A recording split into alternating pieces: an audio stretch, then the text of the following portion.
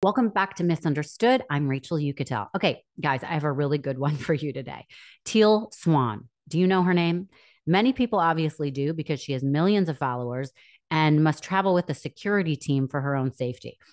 On her Wikipedia, it says she is a spiritual influencer and author known for her teachings on self self help, personal development, and spirituality. It also says her deepest intention is to set people free. Her mission is to make people aware and conscious. So, with that awareness, they can heal and live deep, meaningful lives.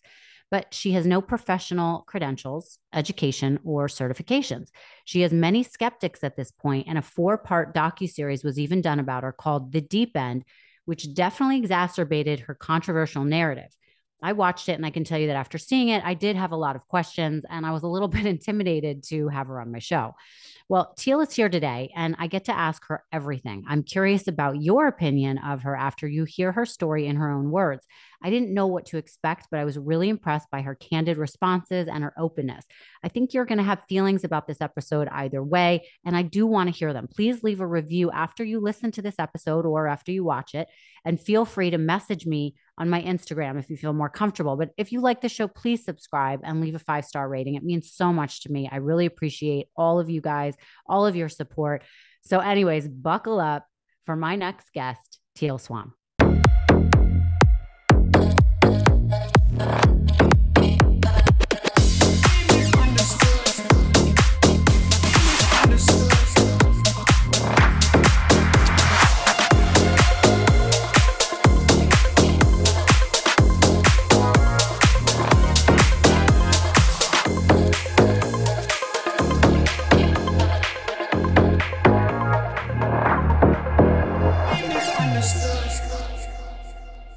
Teal, it's so exciting to have you here on Miss Understood. How are you?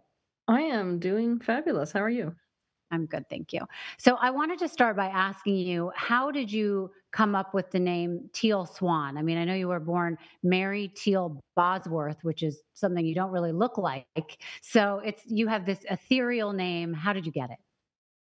So it's ironic that my name is was legally when I was born Mary Teal because I didn't even know that I had a first name until I was like 12. Um, my parents oh, wow. always called me Teal. So Teal was always my name. And it was like this weird thing in the 80s that some pe- people did where they just called you by your middle name, right? Um, so that was my name originally. And then I married a Punjabi Sikh man whose last name was Swan. So it's real funny because people think that my name is like this made up mystical name, but it's actually a totally you know universally orchestrated name you could say. Right. Oh wow. Well it's beautiful. Um, so you know I, in thinking of how to sort of talk to you i i wanted to instead of me discussing what you do i really wanted to get an idea from you on how to describe what it is that you do. Because there are so many names for what you do. You know healer artist spiritual leader catalyst influencer. You can go on and on and on. So it's better to just ask you how would you describe you and what you do I would describe myself as a new thought leader. I, I am here to change humanity's mind, specifically in the direction of what alleviates suffering. I see myself as an expert in human suffering first and foremost. So I want to answer to the things that people are struggling with. And you can do that in a myriad of different ways, whether it's, you know, creating one of these frequency paintings behind here, or whether it's releasing a video about some kind of a relationship pattern, or whether it's hosting an event. I mean, it, there's so many different ways to approach the struggles that people are facing. So that's right. why it seems like I'm a jack of all trades. Did you grow up spiritual? Um, that's a kind of hard question to answer because I always had spiritual abilities and I could never really plug into this physical time space reality the way that other people can. So I was born this profoundly spiritual being, but into a family which was not spiritual my family was comprised of real scientific people, like highly educated, scientific, environmental people. And if they had a religion, it was the outdoors. Right. And you have always talked about how you were sort of born into this world different than other people. Um, can you explain in better terms what that would mean? Yeah, so the best way to conceptualize of this is to think about it like if you come down to this physical life, most people are able to actually plug into this time space reality that we call life on Earth in the same way that if you were to become an avatar in a video game and then forget the you that's sitting on the chair, you are inside that video game and that is your reality. And the way to understand my dynamic is that I want you to imagine that when a person plugs into this video game, let's say, let's call it life, um, their ability to fully plug in is not there. So it's almost like the filters are blown. And so you're seeing an overlay of different dimensional realities all the time. Nor are you able to forget the you that's sitting on the chair. So, you know, a person usually goes throughout their life becoming aware of their non physical aspect, you know, the part Mm. that they might call their soul. And um, that was something that I never forgot and had to find again. It's like I came in here with full knowledge of exactly what I was doing here, you know, what it was, what I was here for. I mean, all these kinds of things. So But it's a how did that go ahead. it's a it's a very it's like a curse, I'll be honest, you know? I mean, Yeah. everybody's sort of sitting here being like, "Wow, that would be amazing," you know, to be able to see past lives and to be able to, um, talk to entities that are not physically incarnated and to see energy fields and to be able to perceive things before they've even happened, and the real truth of it is that when you're receiving that much information, life is pretty terrible. I had a really, really hard time. and pretty loud, I would assume. Yeah, Um, it's what really overwhelming, yeah. Yeah, what what was that like, though, as a kid? Because you must have been very misunderstood by your family or anyone you tried to Oh. verbalize this to, to see if they were having the same experience. I mean, how what was that like? All children start out assuming that everybody sees and perceives what they see and perceive, and I was no exception. So, I was kind of, you know, thrust into this world where I thought everybody was experiencing this and just somehow everybody's having an easier time dealing with it than me, Mhm. to, you know, realizing very quickly once I was put into school that this is not, um, the reality that other people are living in, and I got myself in a lot of trouble because of it. Because it wasn't like I was born in the Eastern world where they have a real good concept of people who are like me, you know? In that Mm. type of a culture, I would have been immediately put in with a sage, and I would have been, you know, trained up into a position in some kind of a spiritual capacity, but we don't have those positions in the Western world, and so it's essentially labeled as mental illness. Right. Or if you're Right, a I was gonna that's what I was gonna ask. Are your were your parents or people at school calling you names, trying to label you in a different way? Oh, yeah, but but it's like you either get that the scientific people kind of label you as mentally ill, and and those really religious people, they label you, which they did with me, as, you know, demonic. Mm. So, it was a real yeah, I was not received well. I mean, I scared the crap out of people. Right, and were you scared? None of the stuff that I was seeing most of the time. It took me a while, you know, to deal with the projections that some of some people when they die, right? They're when they're trying to con connect with you, they'll show you images of how they died, and so when you're quite young, you have to deal with some pretty horrific images. That Mm. I remember being a real struggle. Also, it just being real frustrating that, like, I can see and talk to spirit guides, but it seems like it increases a bystander trauma because even when you're going through really painful stuff, a lot of times they're just sort of sitting there watching what's happening, like it's a show, and so you're kind of like, "Wha could like, come on, throw me a bone," and they're not doing it, and so it Mm. was it was more painful than it was a comfort to me when I was younger. Was there one moment that you remember from your childhood where you were like, "I'm different. I now understand that I can predict something." Either you predicted somebody dying or I I don't know what it was for you, but was there a moment where you were like, "Okay, I have a power," so to speak?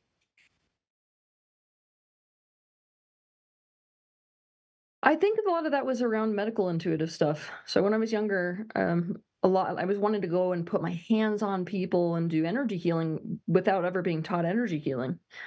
And I think you know, it was well received, more well received when I was able to tell people that they had certain physical ailments, and then they would go to the doctor, it would be confirmed, and so, you know, I had that sort of corroboration, and then the reflection I was getting off that was not as bad as, say, when, you know, when I would talk about somebody's dead relative wanting to say things to them. Yeah, right. Um, a little bit more about your childhood. You had a very rough start. You've openly talked about, um, suffering abuse at the hands of someone else, and I only bring that up because, you know, because I know you've talked about it before, but I think it's important because you've used that experience to turn it into expertise, and I think a lot of people don't follow that concept a lot. Do you know what I mean? Like, they don't get that about you, and in researching a ton of stuff about you, I really felt that it it seems, correct me if I'm wrong, that it's been important for you to talk about what you've been through. Number one, because it makes you relatable to people that have gone through it, but um, because that's where you derive your mastery from. Um, and so I, I do want you just to touch on it a little bit about what you went through. And then the real question is how did you personally find the the wherewithal to get yourself out of it to say i'm worthy of being someone else or i can get out of this Ooh, that's like a lot. Um, yeah so sorry to, to, to super, I don't know like how deep to go because it's real intense. But um, because of my abilities, I essentially caught the radar of somebody who is in the town that was close to where I grew up, who had a real interest in this kind of non-physical stuff, and he approached my parents as a mentor of sorts and my parents, of course, didn't know what to do with me. I was this miserably unhappy, hypersensitive kid. They didn't understand what was going on with me. They've got these doctors saying I'm mentally ill, you know, these other people that are like, whoa, she's got an incredible gift. They just didn't know what to do, right? So when this mentor essentially came in and said, look, she loves horses. She doesn't know what to do with her gifts. Trust her with me, basically. I know what to do. And they said yes. And um, the reality was quite different than what he had put forth. It was really capitalizing on an opportunity mm. to set up a like horribly abusive dynamic for the period of 13 years. And it was like horrific ritual abuse and trafficking. So. This episode is proudly brought to you by LolaVie, an award winning hair care line founded by the one and only Jennifer Aniston. She's been hair goals for as long as I can remember. I'm proud to say I get a lot of comments on my hair on social media as well. I feel like it's something I'm known for. And there are so many hair products on the market that can be confusing to other people if you haven't tried it yourself. But I found one that really works, and finding something that's actually good for you is very hard. So that's where LolaVie comes in. I put my hair through the ringer. I'm sure you do too coloring, styling, extensions that I get. I'm always changing it up. So it's crucial to have products that repair and shield my hair from future harm. If you want to get started, LolaVie's best sellers are the cult classic glossing detangler and perfecting leave-in conditioner. They, they will be your saviors. They aren't just styling products, they're your hair's new best friends. And what kind of best friend would they be if they didn't give us a little treat? So for a limited time, you can get an exclusive 15% off your entire order at lolavie.com. Just use code understood at checkout. So I got these products uh, maybe a week ago, and I've been using them obviously every day. I absolutely love them. I've already reordered stock for myself, and I've ordered it some friends that I knew had some things coming up that I just wanted to send them a little gift. Um, I can't tell you how much it has changed my hair already in a week. It looks and feels so much better. There's a tangible difference. The restorative shampoo, conditioner, and intensive repair treatment makes every shower feel like you are at a spa. It's so luxurious. It, but it doesn't stop there. The post shower products will change your whole styling routine. I didn't really know about these things. I mean, I've seen different products before. I've always been nervous about my hair getting greasy, but the glossing detangler, the perfecting leave in, and the lightweight hair oil are an amazing trifecta of goodness. So unlock Jennifer Aniston's approved hair at lolavie.com. As our loyal listeners, you will get an exclusive 15% off your entire order when you use code understood at checkout. That's 15% off your entire order at L-O-L-A-V-I-E dot com with promo code understood. Please note you can only use one promo code per order and discounts cannot be combined. After you purchase, they'll ask you where you heard about them. Please support our show and tell them that we sent you. Yeah, my childhood was a living like a literal living nightmare, like the kind of thing that belongs on CNN. Like it's it's totally not normal in any way. Um, yeah. So I escaped when I was 19. Mm-hmm. And when you say escape, did you physically escape, or was it something where finally you were able to, um, you know, be old enough that you can make your own decisions and get get out? It's kind of both because, you know, men like had me in my childhood. Um, they create so much mental programming that ultimately they want to be able to have control over you without having to go chase you because you don't really own somebody's psychology if you have to go chase them in a car. Mm. That being said, there's definitely a risk of some retrieval like that happening. So it was a little bit of both. I I ended up after a really horrific experience with him and when I was 19 jumping into a car and driving just I mean like physically running away like driving to a place where I had met a man only twice before this but for some reason I trusted him and I broke into his house actually um, that was the beginning of me staying away so to, to begin with it was like there's such huge consequences for running away. I I'm I don't know what I just did. Why did I just do that? I should just go back, you know. And then it's like one day turns to two days, turns to a week, turns to now I'm in real serious trouble if I go back, turns into a month, turns into like I think I actually have to go into hiding at this point. mm. Yeah. And at any point, I mean, you know, you hear these stories nowadays um, of people that are kidnapped by their captors and kind of fall for them or end up trusting them. Was there Oh. any bit of that with what you went through when you were younger? This man was my life. He convinced me that he was my real father, in fact. And that, you know, basically was an excuse for why I, you know, look different than my parents might look because I look more like he does and you know, and and I'm just elaborate stories, but yeah, there's no way to not bond with somebody who's got that much leverage over your life. It's impossible. It's it's human psychology. That's unanimously what will happen when a person perceives themselves to be in a powerless or captive environment. You will bond to the perpetrator. And I Right. 100% did that. In fact, getting to the place in therapy in my early 20s to realize that maybe the things that he was doing was not out of love was one of the hardest things to get myself to. I, Mm. I remember just fighting like with the this ritual trauma therapist, just fighting, you know, for the things that he's doing or loving, because that's of course the excuse they love to give, you know? Yeah. Yeah. I mean, I think people always wonder, you know, like somebody recent would be like an Elizabeth Smart, wasn't that recent, but you know, people couldn't understand why she was in broad daylight walking around with her captor. And when she was finally caught, she wasn't like, it's me, Elizabeth Smart, get me out of here. It took her a while. And um, so, therefore, then I think people think that, you know, someone is lying about their experience. And I think in the absence of truth or understanding or just fear being present, um, people really make up all sorts of scenarios that are just not true. Yeah, well, I mean, most people don't have a, a thorough understanding of psychology as it applies to situations like that, that they don't really want to Yeah. accept happen in the first place, you know? Right. Right. Um, okay. So, so how, what point were you at where you were like, okay, I can take this experience and help other people? You started out with YouTube, right? Is that your first um, place that you went to sort of give some advice? Actually, I first started uh, with one-on-one sessions. That was kind of like me opening the door to being like, "Uh, you know, maybe I'm going to use some of this stuff again instead of turn against it. Because, you know, mind you, all the abuse in my childhood essentially happened because of my ability. So I wanted nothing to do with this at all. So when I turned back in the direction of, okay, maybe I can't run away from myself the rest of my life, I, I was it was literally as simple as I'm going to see people in my house like occasionally on certain days and Mhm. just kind of tell them what it is that I see.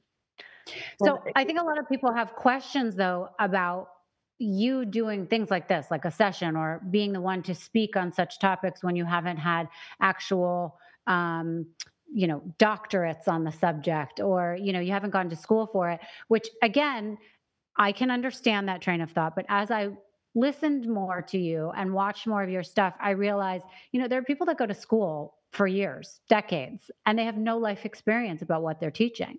Yeah. So, you know, who's to say who is the better teacher? Someone who's been through it, lived it, knows exactly what you're feeling going through and knows exactly how they got themselves out, or someone who's been taught in a school and just read books and studied and got, you know, did well on a test. So, you know, so you started what in your early 20s seeing people and giving them advice, or how did that work? 26 about, yeah. Mhm. And it it made no difference that people people weren't asking for credentials back then, I guess. No, I mean, the point at which somebody goes to the alternative route, usually everything has failed them already. Every Mm. doctor, every therapist, it's like they're they're literally in a place where they're like, you know what? I at this point I don't care. What Mhm. kind of needles I have to be have put in my body, what type of alternative realities I have to consider. They're pretty desperate, right? Yeah. Um no, I mean I did not really run into that.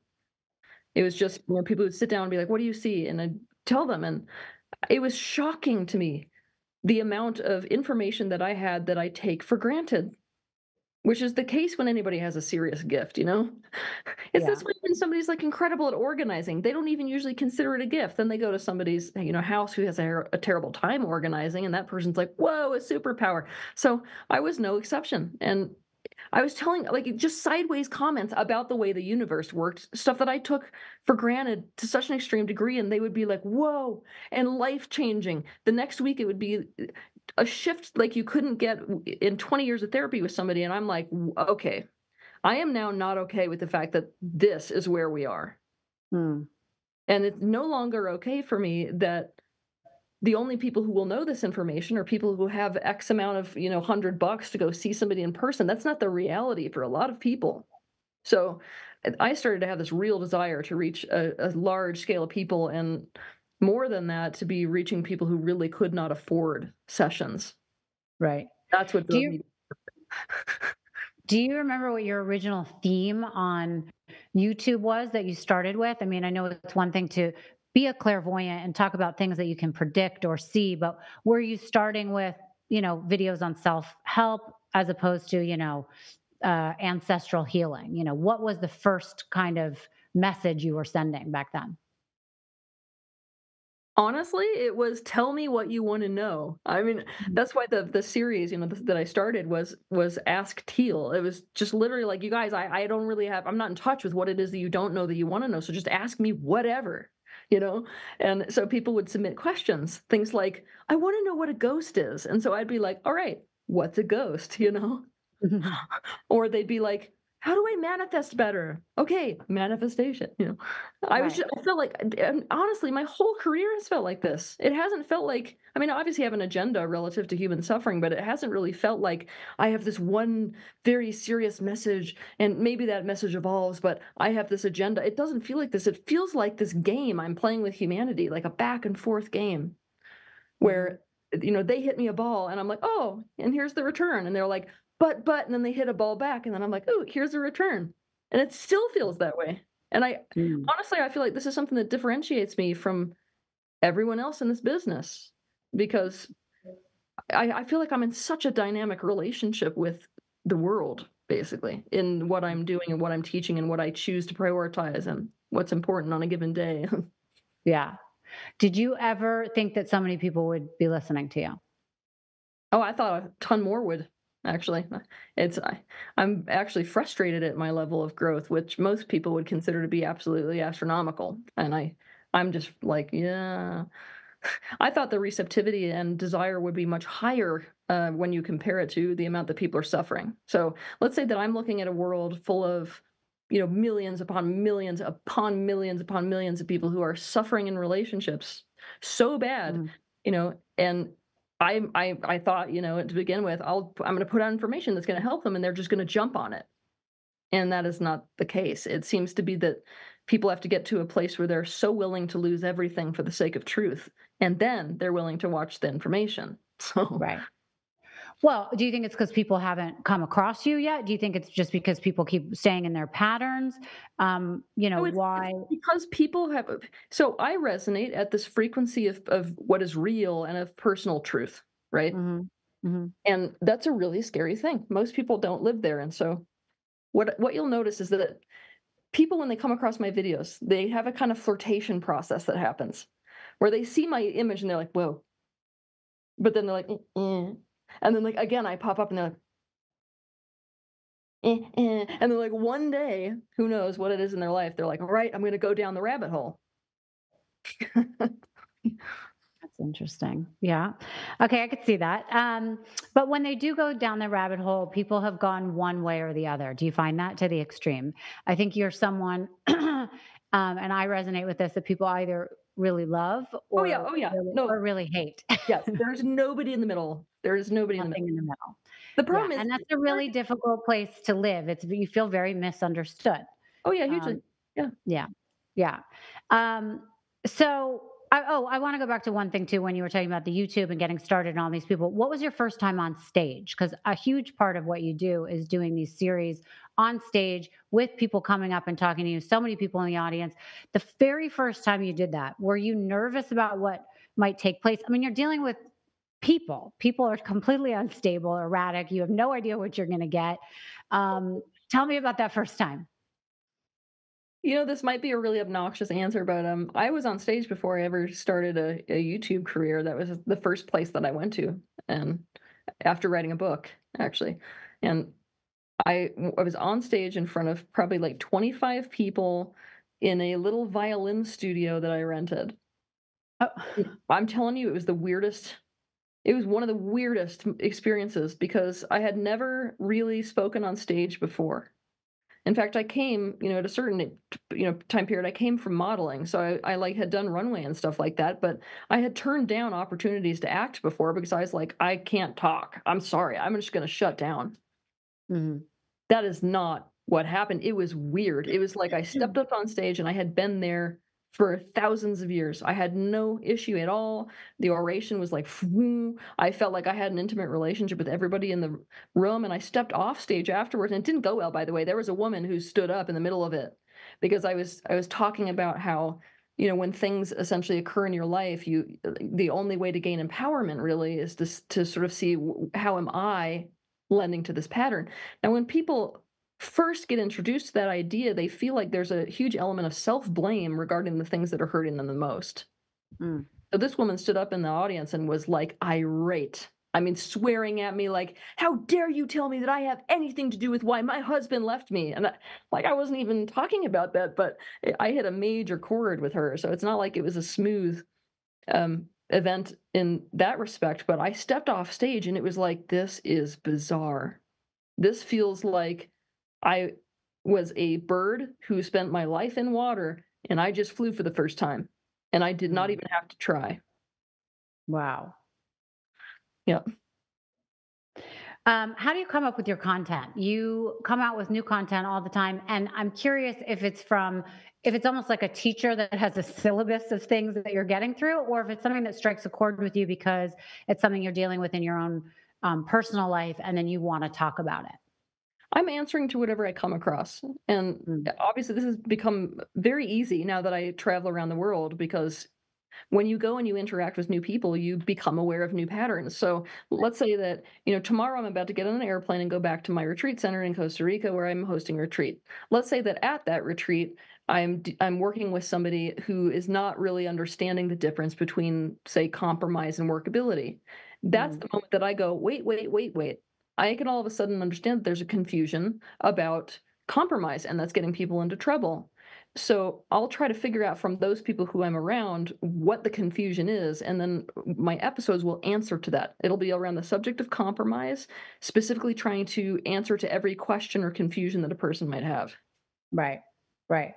Um, do you think that what you teach is controversial, or do you think that that's just what people say when they don't understand things or when they're scared by it? I think my character is much more controversial than my content, but I do think there's a couple aspects of my content that are controversial, which really frustrate me that Mhm. it's even seen that way. Right. Well, I wanted to get into that a little bit because obviously, as we all know, you know, you've been the subject of documentaries, uh, podcasts, um, things you have signed on to participate in, and things you haven't.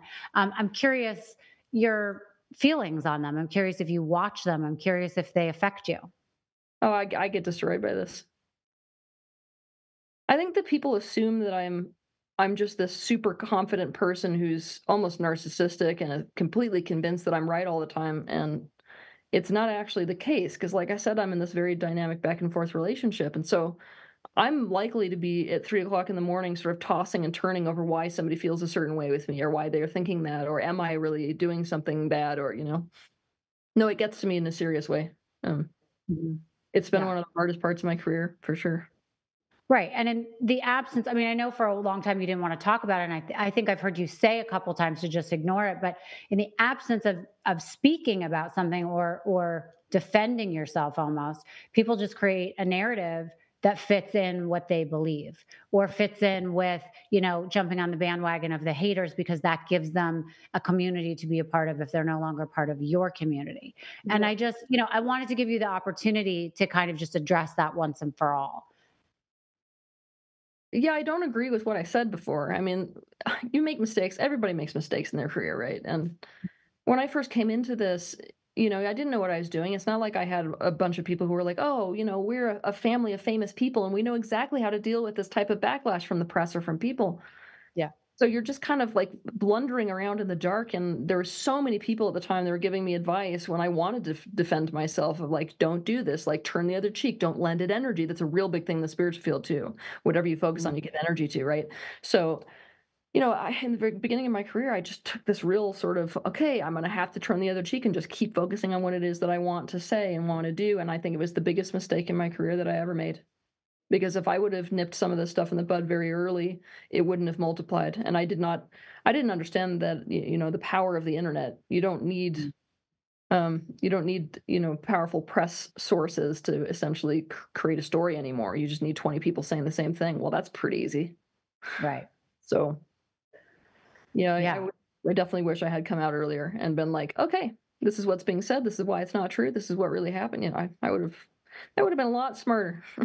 Right. Yeah.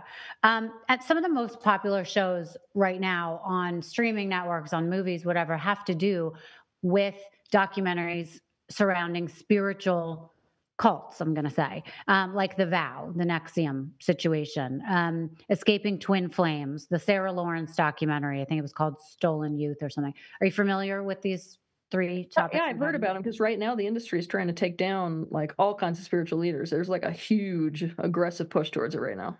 Right. Yeah.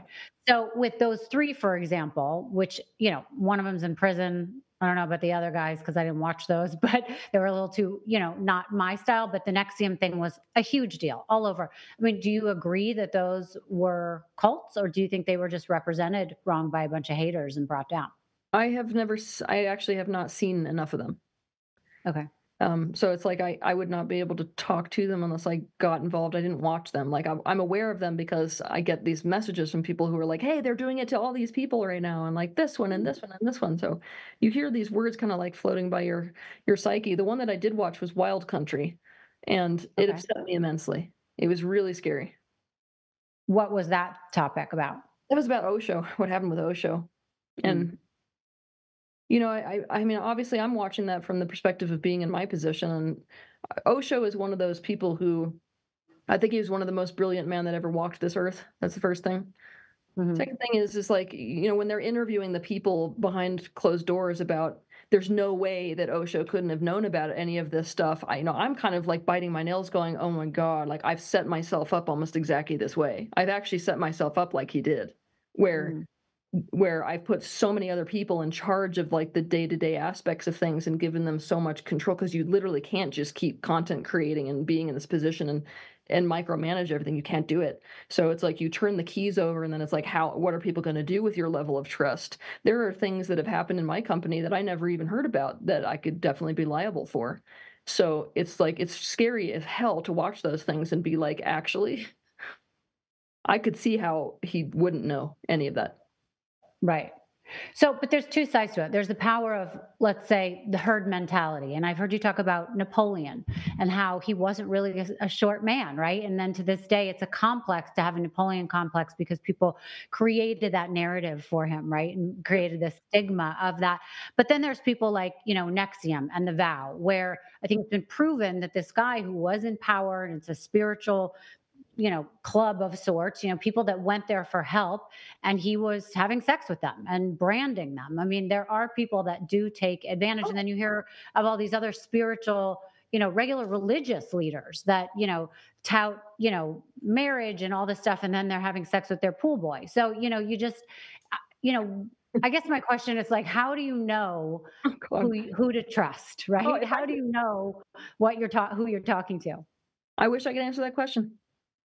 I mean, I, I think that we can all safely agree after what happened to me last year Mhm. that even I can't perfectly judge who to trust and who not to trust. I mean, you're basically asking a question that's right in alignment with what I'm trying to f- answer myself. I I don't know that I have a perfect answer for that. Right. And for people that say that you are a cult leader or a guru, what is your response to that?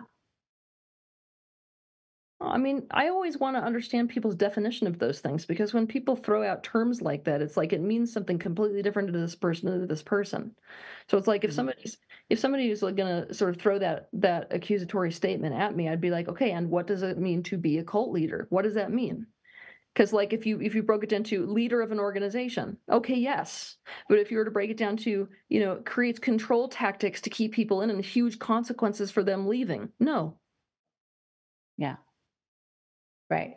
I mean, that is very true. I mean, for some people, it, it, has such a negative connotation, like a David Koresh who ended up killing everybody that believed in him, right? But then there are some people that are, you know, uh, gym goers and they love their yoga instructor. That's their guru, right? And it just helps them find some center and peace in their life. So you're right. I think the question is about who it's coming from. Um, Okay, so you have some detractors that have an issue with the way that you show up for them. You you mentioned that a little bit earlier when I asked you a question. And I think it's actually very interesting. You're a spiritual leader. You would think you're sitting around in like a cardigan drinking tea. Oh, I say that as you're taking a sip of tea. Um, but like by a fire, very calm. Yeah, But yeah. you, you know, you are hot and you look like you could have been a dominatrix a couple years ago with your gorgeous hair. Like what I mean, you just don't show up for people the way I think that a lot of people um, expect their spiritual leader to. And I wonder if you think that makes them, I don't know if jealous is the word, um, threatened. What, what do you think that is? I, I think it they they disqualify me because of it. I mean, people already come into things expecting how a person looks. It's not very much different with a doctor, though. I mean, if somebody was going to walk in the room and their doctor looked like a 13 year old, they would have the same, like, no, no, no, no, because they've already got a preconceived notion of who they want to learn from and what that person needs to be like. And uh, it's like a whole list of shoulds before they're going to consider you as valid, right? And yeah, I don't fit any of those criteria, nor did I plan to before coming down here. Right.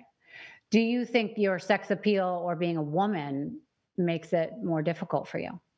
Oh, yeah. Oh my gosh. Like, that's kind of the joke that I love telling because people are like, "God, she has so much following probably because she's pretty." And I'm like, "You guys don't even understand how much all of those things have been a hindrance." I mean, if I wear anything less than this, it's like, "Oh, she's using her sexuality to attract following." Like, ah, I mean, it feels like you literally can't win. And man, I mean, Well, if it helps them, who gives a shit how you get your followers? I mean, Yeah, well, it frustrates me because, of course, like I'm wanting to, I'm wanting people to understand, you know, the value of the content that I teach, and it's very difficult for people to go there when they don't want somebody who has good content to look like me, right, right. So you're saying it takes your credibility away sometimes. like a with lot, people. like a whole lot. Okay, so I am going to ask you about this. A lot has been made on your view on suicide and glorifying death, so to speak. Um, I want to give you a chance to clear up any misconceptions about that statement. I'm running a very difficult, you know, uh, business here and a very, diff- I'm in a difficult position because as a spiritual teacher, one of the things that's most important for me to talk about is death, right? Death is something which we're all going to face in our lifetime, not only because of us dying, but losing things that we love. There's a temporary aspect to the nature of life. I also have a lot of information on death, things like that. Hmm. It's not going to be helpful for human beings to have such an adversarial relationship with death. For death to me, the ultimate horror, and yet it's something that all of us will deal with, is not healthy people seem to come along with with me on that so far as to understand that if I'm dealing with somebody who say lost a loved one and I talk to them about what it is like to die and the greater purpose of death in the context of life, they are like, "Oh yeah, that's fine." Hmm. But what people have done is decided that there's all kinds of right ways to die and right times to die and all kinds of wrong ways to die and and you know wrong times to die that's why we have a different reaction to somebody who's 15 dying than we do to somebody who is, you know, 90. We almost have a blase attitude towards a 90 year old. We're like, she was just old. Okay. So, w- what I need people to understand first is this incredibly dichotomous relationship we have with death to start with, right? That makes it very, very difficult because I'm, I feels like in my career, I'm walking on this tightrope trying to navigate other people's ideas of rightness and wrongness around death. hmm So this whole thing, like a lot of this whole thing around, you know, me and my stance on on suicide started back very early in my career when you know, I was sharing truths about the universe that I don't think people were ready to hear or that they made mean certain things. You know, like I'll I'll give you an example. Early on in my career, I I made a very bold statement on a stage when I said that every death is a suicide. Why? Because your non-physical and physical aspect have to both decide upon death. And if there's a disagreement here, you're going to watch somebody slip into a coma or something like that. Uh, you know, so you know, I it, I guess it's a subversive idea for people to conceptualize of, and then uh you know i mean other things that i've i've said. oh yeah when it comes to suicide it i don't believe that it's helpful for people to deny suppress and disown the fact that they are feeling suicidal which is what the majority of society expects suicidal people to do Hmm. What they expect them to do is to be like, put it out of your mind. It's just the weak thing to do. You know, just call a friend. And I'm like, actually, these types of sentiments that you're feeling and, you know, the ideation that you're going into is something that has to be consciously engaged with. You have to actually be dealing with the part of you that really feels like it doesn't want to commit here to understand enough about what pain is happening that a person feels like they can't change that that is where they are going with their mentality my issue is I don't support the concept of suicide. I mean, I may have some views of my own on physician assisted suicide and things like that because I hate watching people suffering, but I'm never going to be mm-hmm. the kind of person who's like celebrating because somebody, you know, shot themselves. It's not what I'm doing. I'm doing the opposite. I'm trying to get people out of the pain they're in that makes them feel like they're so powerless that they want to go do that. But I'm going to assert, and this is one of my controversial stances, that in order to do that, you have to deeply engage with where somebody is, eh, you know, and and what they feel like they're going to be getting out of it, and the nuances of of you know why they're considering to commit suicide in the way that they are because there's tons of information even in that you know? If you've got somebody who wants to do it in a really violent way that's super public this is a person who doesn't feel seen. Right. Okay well then that gives you all kinds of information if you're in my position for what type of unmet need we need to meet quickly. Mm-hmm. so you know it's it's interesting because I've I've watched a lot and I've heard a lot, and I I mentioned to people that I was having you on, and and the bulk of the questions surrounded this topic. So I wanted to think for myself, like how I would feel. So I, I, it's funny that you say about this medically assisted death. I actually did an episode on it recently because I found it fascinating. My aunt who lives in California um, used to be, she was the head of obstetrics at UCSF. She would deliver babies and she retired. She was like, I can't go to like folding laundry. I mean, I brought, you know, life into this world all my, you know, forever. What am I going to do next? And her husband got sick and they were given the medicine for medically assisted suicide. And he lived, he chose not to take it. He's still alive to this day. Um, God bless him. But um, she now can be hired to sit with you while you take the medicine. And I did a whole episode trying to understand the position people are at when they choose to die in those circumstances. They've been given six months to live. They they've said goodbyes. They know it's not going to get better. It's over. Whereas we're talking about um, people who are at the point where they are so alone so miserable, feel like there's no way out, feel shame, whatever it is for them, right? That they need to feel feel the need to do this. And something I've heard you talk about, which really made sense to me, is that okay, let's instead of giving them, oh, you want to live, you have a child, somebody needs you, the life is so beautiful, it's going to get better, all that bullshit, because in reality, they don't want to hear that. That's not going to help them. Yeah. It's more like, well, what would happen if you did if you did kill yourself? Who would that affect? How would that change things because you want to change that person's view on wanting to make the choice to live as opposed to being on this fence about whether or not they want to live. And it really made me emotional thinking about that because i i don't know that i've ever been in a place that i've been fully suicidal but i've had a lot of terrible things that i've gone through in my life that i've questioned what what why? Why did this happen to me? What do i do to get out of it and I've had to choose to stay put and to take a step forward, you know. And being alone is the worst because no one really understands that pain and you kind of got to get it through get through it yourself to make that decision. But anyways, I I can understand the controversy around what you said. I can understand why people don't get it, but I do understand what you're how you are trying to bring people to make that decision on their own because they can stop seeing their therapist, they can stop seeing you, they can stop watching their YouTube messages, but they have to live with themselves and put their head on the pillow every night and be, be making the choice to stay. And I think that you are trying correct me if I'm wrong, to guide them to the place where they don't need you, that they are making that decision on their own. Oh yeah, but I mean more than that. I'm I'm trying to guide a person to a position where their needs are met to the degree that they're not in the kind of pain that would make them want to do something like that. Yeah. I'm not I'm not the kind of person who sits here expecting somebody to make a choice to be part of life even though it sucks for them so bad they can hardly breathe. Right. My whole mentality is like why are we just why are we accepting this? I understand you feel powerless, but like are we powerless? I don't want you to be sitting here suffering alone, you know?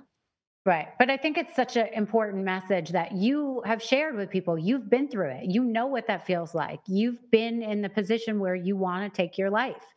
Um, you know, I've been in terrible positions too. I think it's part of life to be down in the dumps, to be in a real, you know, I have a tattoo down my back and it says, I have to remember the wording because I can't see it, right? I, I, it says, without pain, happiness has no meaning.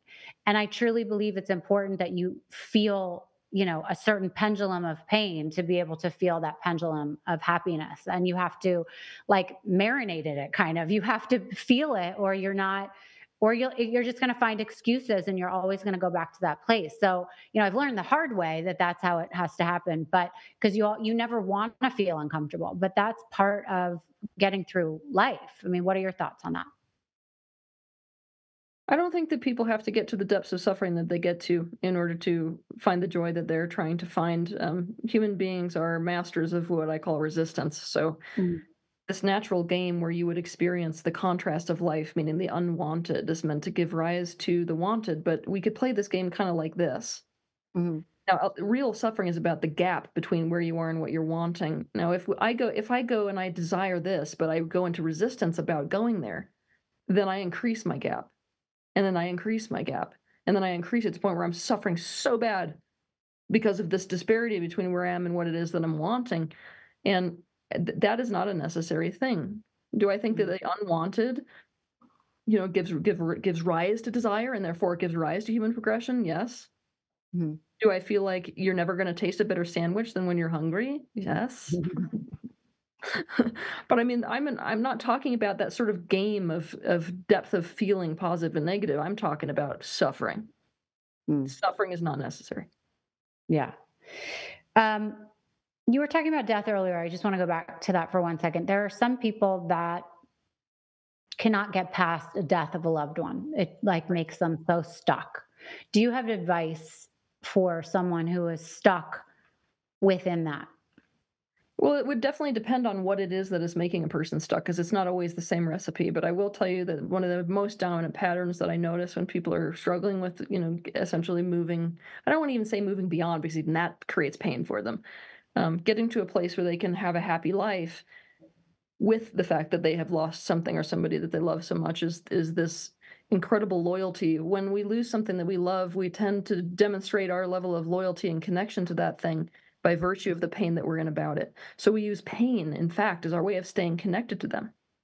Hmm. So a real good way to move beyond that is to find a different way of staying connected to whatever it is that you lost. Right. Um, Another thing your your haters have questioned is um, if you should be giving relationship advice because you've had so many marriages. Um, what is your what is your thought on that? You know what's funny is I'm actually gonna I decided to do an entire video on this because I feel like I'm gonna do a better job when I break it down to like several points. But um, okay. I mean, I can understand why people have that reaction. Why? Because what people want more than anything is longevity in relationships. Yeah. So currently, the measuring stick for success in a relationship is longevity, and longevity only relative to the romantic relationship. So mm. let's say that in my life, you know, I've lived in intentional community for years, and let's say that I've got people who I've been living with for 10 years, 18 years. You know, my closest friend that I had all the way from childhood, it's been 20 plus years. Nobody's going to count those relationships. Right. You know, um, and that's kind of odd to me. I mean, because it's another type of relationship, right? That's number one. Well, yeah, go ahead. One of the things that I think is pretty interesting is that you know, I, I don't feel like I could derive, you know, particularly accurate advice from somebody who'd been married, let's say in the 1920s, in a whole different era for, you know, let's say 28 years to their spouse because Mhm. the way that current modern life is, the way that current relationships are, like there's no there's no transfer there. Number 1, number 2, how much are the people who are we we're celebrating for their relationship lasting, how much are they making their relationship last because of dysfunction rather than function? Right. Right. Because of the kids, because they don't have another way out monetarily. Yeah. Also, I feel like people who have a lot of, you know, rel whose a lot of their relationship has failed, and I do have I have a lot of relationships that went to hell, um, you gain a lot of information every time that happens. A 100%. Yeah. So why why are we not like as a person. Yeah. yeah, so like I you know, me, when I'm if I'm, you know, in a in a person's seat, I'm not gonna create criteria like that. I'm only gonna listen to somebody if they fit this criteria of what I feel like I should be watching. So if they've I'm only gonna listen to a relationship expert that's been married for 25 years or something. For me, I'm like, I, you know, I want to listen to what everybody thinks because everybody's life experience gives them some kind of knowledge, you know. I'd be just as interested in listening to somebody who's had a, you know, 50-year marriage, honestly, than I would be interested in listening to somebody who's had 13 failed marriages. Because I'm like, you're just gonna get a totally different perspective on what Mhm. makes relationships work, what makes them fail, what you should be doing, what you shouldn't be doing. You know, I just I wish Right. people were more open to like taking in information, you know, without disqualifying, always disqualifying the source, which is just the weakest. It's just the weakest thing to do, you know? Yeah, it's very interesting you say all that because my daughter said I'm I'm going to be 49 this month. I have been married 3 times, 2 times, 3, 2. Um and you know, I'm not dating anybody. I'm, you know, and my daughter who's 11 is always like, "Oh god, mom, you have the worst track record with men." And I finally kind of got to this place in my life where I said to her the other day, that's so not true. I date really interesting people. I try them on. If they're not right for me, at least I've learned something from every single experience I've been in. And, you know, I actually think that's great. I have so many friends, some of them I don't speak to, but at least I can say that I found something from each person on behaviors that I don't want behave from them, behaviors that I don't want from me. Like I've learned so many lessons from that. So the fact that I'm not married is a bummer because I'd like to find my, you know, the witness to my life and someone to share my life with but at the same time i supplement that with you know i'm a single mom. I, I she's like my relationship right now or the friends that i make over time. It doesn't have to be a romantic partner until it's the right person. I'm not going to settle for that. But i also think it's strange when people want to listen to someone like you said who's been married for 40 years. You know there was just a, a documentary on jerry falwell jr who's been married for whatever it's been and we all find out that his marriage is a whole lie but people are listening to him for his spirituality and his relationship guidance and you know but the wife is having an affair with someone and he's watching in the corner and who who knows i mean all the power to him but that's you know i don't know who you listen to relationship advice from but it can't be somebody that you know you can't admire or understand why they've done things so Yep. you know i don't trust anyone who hasn't been through it and people that are staying in marriages for 20 years because they're waiting for their children to go to college i don't agree with that either you know so Yeah, I, um, I i think that's a bad lesson right now we're in a place where longevity really we need to consider whether longevity should be the only measuring stick for success in a relationship because we all know, you know, that person or those multiple people, maybe everyone that we know, where um, the way that they've achieved longevity is some kind of dysfunction. And it's like as people we're afraid to admit this, but the faster that we admit to this, I feel like the better we're going to be because we're going to have a new definition for what a successful relationship looks like. It's not just going to yeah. be did you m- stay married for you know the length of time? Um, yeah. I'm curious do you believe in marriage still?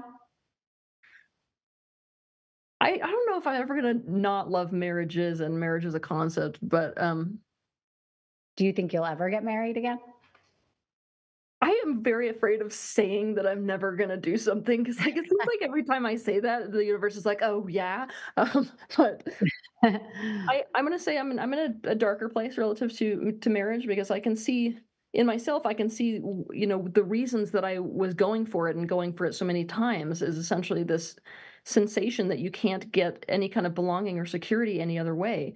And you know it's something that I'm talking a lot about now publicly that coupling creates coupling because if the only way that you can get security you know, really in a relationship and depend on being prioritized and things like that is if you couple up with somebody, then somebody else is always going to have another priority. So your your only way of getting it is to couple up yourself.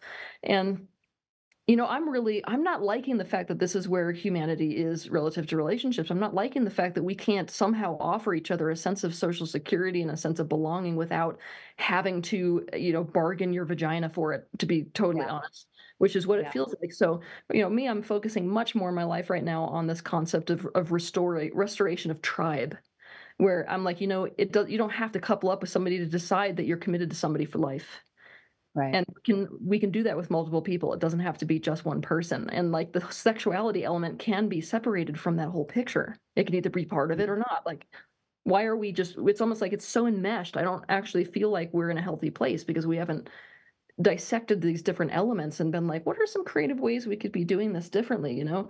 The, the way that marriage was created on this planet is kind of sad honestly. Yeah. Yeah. you know Um, okay, I'm going to give you some rapid fire questions. Some of these are serious, some of these are not so serious. Um, for this is an important one for people who feel stuck right now. What is one thing they can do to move forward? So stuckness is always about the fact that you've got one aspect of you that feels like going in a certain direction is going to get you something positive, and another aspect of you feels like going in that direction is going to end up with something negative. We could consider that part that I just mentioned, the resistance. When you're stuck, you have to face directly your resistance to going in that in that you know direction, and then um, based off of whatever you find the truth to be, it's going to be different based on what situation somebody's stuck in. You start to sort of work with that and whittle that down and question that and create a kind of a workability that didn't exist there before. But when you're answering directly to it, obviously you're going to take different actions. So like let's say that I'll give you an example. Let's say that I'm really stuck in my life because, you know, I feel like I want to quit my job, but um I'm not doing it because the aspect of me that's in resistance to that desire of mine is like, no, like financial security is actually a very big deal for me. Mm. Um, if I face directly the, the fact that financial security is a big deal for me, that's almost like a its own rabbit hole that I can now dive into and be Mhm. and I can start to get creative with it. Are there other ways that I could establish, you know, f- financial security? Is there a way that I could commit to this until a certain level of financial security to make myself safe there? Is there some belief that I have from my childhood around financial security that I can start to work on that that childhood experience or childhood trauma so that I, I don't have you know such an intense relationship with financial security you could go all kinds of different roads with it but it's about resolving and reducing the resistance level you have to going in the direction of whatever is wanted Okay. Is there a secret to living a happy life? yes um, to figure out what your values are and to live aggressively in alignment with your values and it's best if people can out of a list of values pick your top five and be able to prioritize your top one even out of those top fives. But the people who are the happiest and most fulfilled in life are the ones who are living a life meaning their thoughts words and actions are aligned with what they value. What we value is really about what's most important to us and that's going to be different based on you know one person or another person which is part of why we get in so many arguments with each other right? Because you know one person's saying no this is what you should value and therefore this is the decision you should make and another person's like well we should go in another direction but you know I, what happens with people prioritizing their values is is this high degree of resiliency even for being met with adversity. Because if you're in alignment with what really is important to you and you get hit with a tidal wave there's this kind of like all right that really sucks but i i mean still this feels right to me. There's a real internal strength that happens with that. And also you know when you're in alignment with your values obviously what's important to us often falls in alignment with what causes us enjoyment so we're Mhm. we're in alignment with with our own personal definition of joy What are some of your predictions for 2024 in terms of themes or anything actually tangible you could tell us? Well, um, this year the dominant theme for 2024 is destruction lust. It's a really scary one, honestly. That's a scary theme for a year, but um, things are going to get real entertaining and really shaken up. So to explain destruction lust, I think that all of us have experienced maybe like a game when we were a kid where you're like maybe trying really hard to get it right and then you get to a point where you're just so sick of it that you're like ready to just knock the whole thing over. That's destruction Mhm. lust. And so many people on the globe today have that that sensation of destruction lust towards the things that they're trying so hard at. Mm. Um, so that destruction lust is is likely to get us into a lot of trouble this year, honestly, which is why I, you know it makes me a little bit nervous because there's value in that which we destruct that we aren't acknowledging when we're ready to just lose it all, you know, to be in a different place. Mhm. Decision making is another thing that's going to be massive this year. It's it's going to annoy people. I mean, the amount of decisions that are going to be put in front of people, just like oh, Mhm. like really big ones, like all the time, you know, which uh, we're getting pinched. All people are just getting like knuckled by the universe into this position of being like, no, you're going to figure out what it is you actually want right now. We're not going to be stuck anymore. Right. Do you have a prediction for the presidential election? God. I would be very, yeah. I mean, when I'm looking at life path potentials, there's lots of different life path potentials. So it's like I, I can't really tell you 100% that I know that this person's going to win. But I'm going to tell you that if, if Trump doesn't win, I'm going to be scratching my head. Um, why? Because in alignment with where people are right now, and in alignment with this destruction lust thing, especially, Mhm. people tend to go for the leader that they perceive to be the strongest. Mm. And you know what what Trump essentially does is puts forward a persona that is so unwavering and does not question that people perceive that that type of a person is going to create change. And that is what people are desperate for right now. They feel like the system doesn't serve them. And so you know no matter whether a person says let's say that if a person's going to destroy the whole thing you know and create a whole new thing we're going to vote for that. So I, yeah, I'm, I'm gonna if if this November rolls around and and it doesn't end up being him, I will be very confused and have to go sort of back to square one in terms of watching human patterns and how that whole thing went down. Right. Okay. Well, we'll revisit that next at the end of the year. Um, how do you keep your excellence in a world filled with so much competition? I mean, now that there's social media and, you know, it's like Denise from New Jersey can get on, you know, TikTok and say she's a guru on spiritual healing or something. So, like, how do you keep, you know, stay on the top?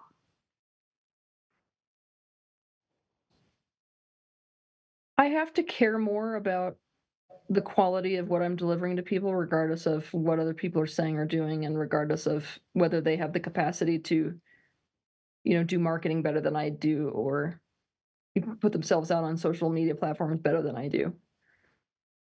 It really creates this, I guess, pressure to remain committed. Ironic, we were talking about values before, and now you bring up excellence, which is my top value. It's like it's it's put a lot of pressure on me to decide, you know, what is more important to me. Is it is it viewership, which is better with a 40 second soundbite? Is it um amount of money I'm making? You know, and I, like I keep settling back on it's it's the con I want the content itself to be so good, basically, that that it would be very difficult to beat me in that way. And if somebody does, they better be teaching.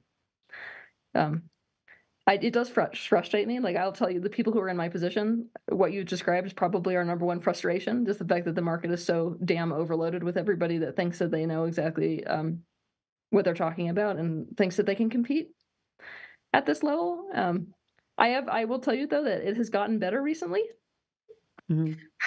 because now quite often when I see people who are essentially trying to become, you know, uh, the next spiritual teacher, my sentiment is be my guest because it is one of the most difficult things ever.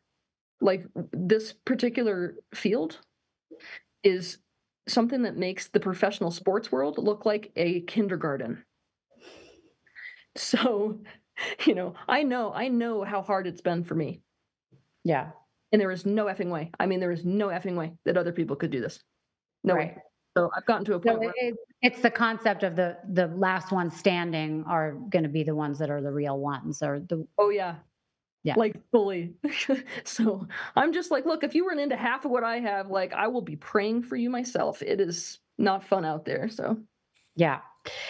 Um, you've said you live a life much different than most. I know you have to travel with security. Obviously, your life is completely different. What's it like to be a single mom living this life? Like for me, my life as a single mom with a daughter is it's all Taylor Swift all the time. And if I swear I have to put the money in a jar to be able to go to the, you know, the next concert when she comes um, to Miami, even though she's already been to the concert. That's her whole world. So for you, what is it like to have a four, he's 14, yeah? To have a son? It's both magic and hell. I mean, I'm lucky in that he's my son is really different than a lot of other boys. He's he's you know, he got like a sensitive soul, but he's very even keeled and he's very connecty. So he doesn't feel like a teenager and he doesn't want to do things with his friends only. He's like very touchy feely, cuddly still. So I've, you know, in a lot of ways, I still have a real child on my hands, even though he's 14. And so a lot of it looks like what it did when he was younger, where I'm, I'm really just trying to prioritize, you know, jumping off podcasts, for example, and being able to really sit down and give him quality time. And that is the hell of that, you know, the magic of that is I get to connect with this totally magic being. The hell of that is just there is I don't really have words for how difficult it is to be a single mother, much less a mother period, doesn't matter whether you're single or not, mm-hmm. and have a career. Yeah. It's been torture. Right. Do you see any you know spirituality in him that you had as a child do you see anything in him of you yeah, I do. Um, a little bit. He's definitely got more of his dad's mind than me. He's got like his father is like got a very engineer, math oriented mind, and he definitely mm. got that, thankfully. But my son is able to to decode human patterns in the way that I can. It's pretty impressive to, to hear his take on other people because he will. I mean, he shreds them already like a psychologist does. You know. Right. right. That's amazing. Um, how does someone date Teal Swan? I take it you're not on Hinge and Bumble. No, um, I'd love to answer that. I don't even know how to answer that question. My gosh. Um, usually it's been just people that I essentially meet like in life, like either on an airplane or, you know, at one of the events that I am at, or, you know, let's say that I attend like some meditation sit. It's it's been kind of stuff like that. I'm currently at this place where I'm wondering whether something about that should change, but I don't know how to do that in a safe way because, like, let's right. say I used to get on any site, you know, everybody thinks they want to date Teal Swan, but really, I, I think my pool is like this for men that would mm-hmm. actually, you know, want it if they knew right. the reality of of you know what it's like to live with me. Well, there's always someone for someone, right? Um, okay, what kind of music do you listen to? I think people assume that you're walking around in headphones while you're taking your walks, listening to like birds or spiritual music. Like, are you listening to Metallica or Hall and Oates or you know something that we would find interesting? Yeah, I mean the thing that most people um, love slash hate about me is the fact that I am absolutely obsessed with rap. You are love rap. Like it's a Oh my god. Like who? Like Tupac? Yeah, I have the same birthday as Tupac. That's what I love to blame for the fact that I've got this little obsession. But um Oh wow. Like I love Future. I I love um Drake. I love well, it's my favorite of all is Partisan Fontaine. I think he's uh, literally the master who's alive today. Yeah, so like I'm the kind of person who I don't have it in this current car, but my previous car I used to have a giant subwoofer and I would be like driving around blasting rap and you know, I do have a here's my excuse for this. So besides the fact that that it is an absolute art form, most people miss this because of the content. They don't understand how incredibly sophisticated rap is. And it's they're the new poets, honestly. Yeah. yeah. Um I was a skier. I was a professional skier. And for professional skiers, like that's what you're listening to when you're skiing is is rap. So it was like part of that whole culture, and it, it's like in my bones, and so I absolutely love it. And yeah, most people would never guess that somebody who is into spiritual stuff would like rap, but yeah. I do. It's not like all. But you're right. It, it's very much like poetry. I mean, I fell in love with Hamilton. I don't know. Have you seen Hamilton, the Broadway play? And the music in it is so phenomenal because it tells such a gorgeous story and you get so into it but it's rap you know and it's un, i mean it's unbelievable. I have no idea how he came up with that but um, okay just a few more random ones for people to get to know you. Like do you do normal things like the rest of us? Do you shop on amazon? Do you look for deals? Like do, what do you what do you do? Tell me what makes you like what, us. what makes me like normal? Okay so i love ebay um Okay. I love eBay because why? Because you can find stuff that you can't find other places. Like I don't have an issue with the secondhand thing. It's just You know, I'm the kind of person who, let's say that I like a specific type of legging. I want like six of them. And if nobody sells that legging anymore, I have to find it somewhere that is being sold. And it's usually always eBay. So I do a lot of eBay and Etsy because I love the independent artists and stuff like that. Um, what Okay. else is normal? I love watching movies. You do. What's your favorite movie? My favorite movie is Dark Crystal. Okay. Um, Okay. what else? Do you do you go on Netflix or anything? Do you have like a show you're binging? Do you watch Suc- Succession? I just don't. I, do, I literally don't even have the time. I don't understand how people do have the time. I feel like I'm running around from moment one to the second that it stops, and if like it, I have to really, if I want to see something, I like really put forth energy to Yeah. you know, be able to cut out time for it. And usually, I'm like combining multiple things, so eh, I'll be playing it in the background while I'm like making jewelry or painting. Also, I mean, it's Yeah. Yeah. Do you follow pop culture at all? not really. Not really. So you're not up on, you know, Gypsy Rose getting released from prison. You don't care. No, it's, it's not even that. I, it's not really that I don't care. It's just like when you when somebody like me picks this road to master, it's like that. Your whole life revolves around that mastery, and so Yeah. there's a lot of peripheral information that just doesn't get prioritized. No, I understand. But like, do things in the news uh, sometimes consume you? Like, remember when the um, submarine, the submersible went down and was missing for five days? Like, were you into that? I was up in the middle of the night searching, like Googling what, you know, implosion means, you that know? one, that one upset me a lot. But I Yeah. With with things that are happening in the world, a lot of times it is if it's really upsetting me in some way, and there's like. I can tell that I've got some kind of a psychological catch around it. That one bothered me. I could, could very easily put myself, you know, before they essentially said they all blew up immediately. It was like, Yeah. I very easily put myself in a position where I could feel exactly what it must be like to be in that position. and it was keeping me Yeah. awake. So, yeah. Me too. I was in the same boat as you. No pun intended. Um, so you're not the type of person. I've got, I've got you're not the type of. Go ahead. cat and dog videos on Instagram. So so like I love to joke about this. It irritates me so much that human attention span is so small and like everybody would rather watch a cat video, but then I'm like, Teal, you watched like eight cat videos today. Um because I don't I mean Instagram's pretty easy because, you know, I, I don't need to take a lot of time out of my day. I could be like sitting on the toilet and like look at an Instagram video. I love cat and dog videos on Instagram. So Yeah. I do too, I'll be honest. Those kind of rescue missions with the dogs, I love those. They always I'm always sobbing and my daughter will walk in and be like, "Mom, are you watching another dog video? You got to stop." Um so okay, so I was going to say so you did not have it on repeat when Taylor Swift got off the stage and jumped into Travis Kelce's arms and kissed him. no. No. Okay. I hadn't heard about that happening. Oh no.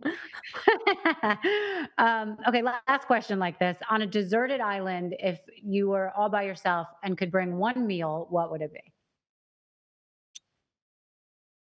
And is is this like a, a are we going a meal that I would eat if I could, or are we going like Teal's being t- normal Teal and is eating Teal's normal diet? Well, yeah, it's like what no, what like what's your favorite food? Like for me it's hearts of palm, so random. Like but what is something people don't know about you? I think people assume you eat kale and drink green juices. Oh, know. if people assumed the way I ate, they would still be about 80 miles short of how incredibly strict I am with my diet. It is insane. Really? Yeah, it's nuts. Like like it is beyond so far beyond. Like they're the only way to get more insane than where I am right now in terms of like the way that I I you know live my life in terms of lifestyle, including diet, is if I grew my own food. That's the only way place to go. Wow. Why is that? Because I basically, in order to keep myself in enough of an alignment state to take in this type of information, and you'll notice that the more that aware you become, actually, the less tolerant you become to lower frequency things, you get into this place where you're eating like most people would eat on the strictest cleanse you could imagine if Mm, that was your everyday diet. Um, it's the only way my body doesn't flip out. Really? Okay. So on this island, what would you be Okay, eating? so let's play a game where I I go more like look, I'm going to relate more to to you know everyone else on earth that isn't as ridiculously psychotically disciplined as I am. And I'm going to say let's do food according to what you really enjoy because I'm a huge foodie, right? My the meal that I would have there would be mashed potatoes, fettuccine alfredo, stuffed peppers, and uh, pavlova, and cotton candy. Wow. Okay. When was the last time you had any of those? Probably 12 years. Oh my goodness. Okay. um, okay. You posted recently the worst distance between two people is misunderstanding. That's Yep. basically the concept of my show. What is the most misunderstood thing about you? People think I'm a rule breaker. Like without without a doubt, especially you know, since people see me as this very controversial figure, they see me as a kind of an upstart who likes to rebel against things, and that is not true at all. I hate breaking rules. Oh my gosh, I'm the person who's like, that's not the speed limit. You know, I'm kind of. um. So when I when I decide to step out and go against the grain in any way, it's for a very very good reason. I find no pleasure in in rebellion. Okay. Um, last question. What is on your bucket list for 2024 or something you're looking forward to or something you want to manifest in your life? Right now, it's all about tribe. I mean, in the last few years, I got hit real hard in terms of my personal life. You know, because like everything got so heated with the amount of fame and a lot of the you know pressures that were being put on us that a lot of the people around me decided that they were there was no way that they could live a life like this and that no matter how much they love me they they couldn't take the pressure. Yeah. so it very much felt like i'm sort of with my personality going to a, a layer of the stratosphere that other people can't go to and, and thrive at. And so mm-hmm. it felt like a lot of them had to sort of go choose their own lives so that i could go sort of join their life because this was some somewhere that they couldn't sort of function and breathe. And i find myself more lonely than i have ever been since my childhood actually right now so my focus is really all about becoming resourced again on a personal level in terms of really wanting to have a group of people that I can live my life with. And I mean people who are compatible to this, and that's rare, right? Yeah. I want to live Yeah. my life with people. It's like you, you you said that word you used earlier about wanting a witness. That's definitely something that resonates with me in a very extreme way. And I'm so I'm wanting to find people who fit with me this year. Okay. I love that. That's probably mine as well. That's what I would love. I think a lot of people are looking for their tribe.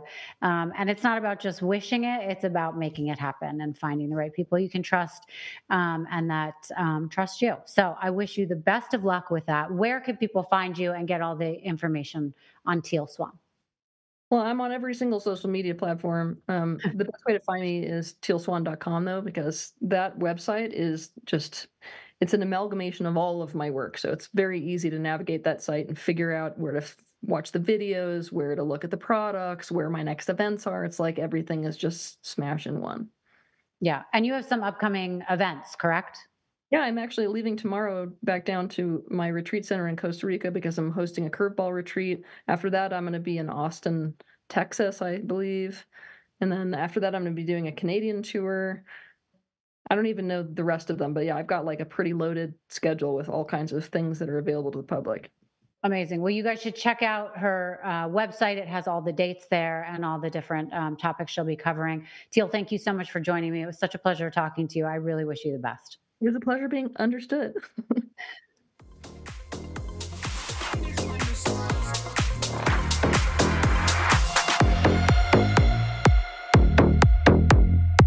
Thank you so much for listening to Miss Understood. I'm your host, Rachel Uchitel. Please be sure to subscribe to the show and give us a five star rating and review. You can support the show by joining our Patreon at patreon.com slash misunderstood with Rachel Uchitel. Do you have ideas for the show or want to reach out? Email us at info misunderstoodpodcast at gmail.com. That's spelled M I S S understood. Thank you so much, and I'll see you next time.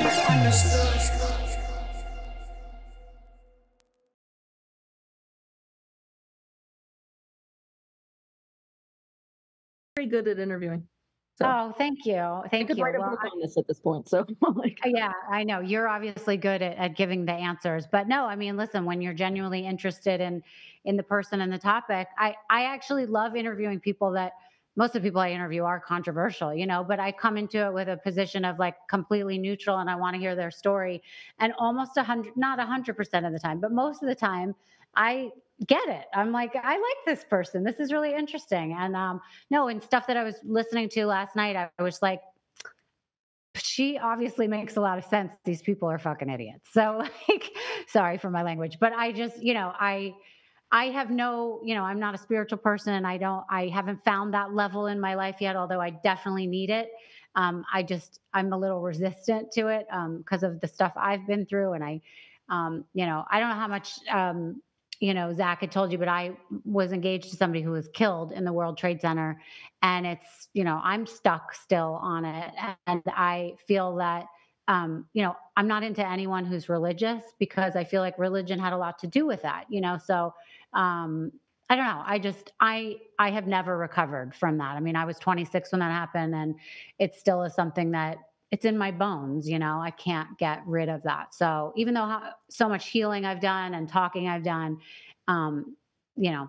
But anyway, so it's interesting to to sit with someone like you who I I know um, heals people in situations like that, and it's something that I I eventually in my life will need to get to. I think. Well, if you want to get there with me, you know where to find me. So thank you. Thank you so much. But, anyways, it was an honor to speak to you, and I do wish you the best. Yeah, I wish you the best too. It's wonderful. See you. Thank you.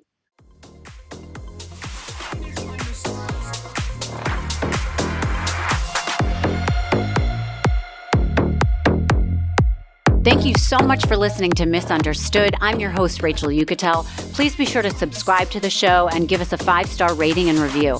You can support the show by joining our Patreon at patreon.com slash misunderstood with Rachel Uchitel. Do you have ideas for the show or want to reach out? Email us at info misunderstoodpodcast at gmail.com. That's spelled M I S S understood. Thank you so much, and I'll see you next time.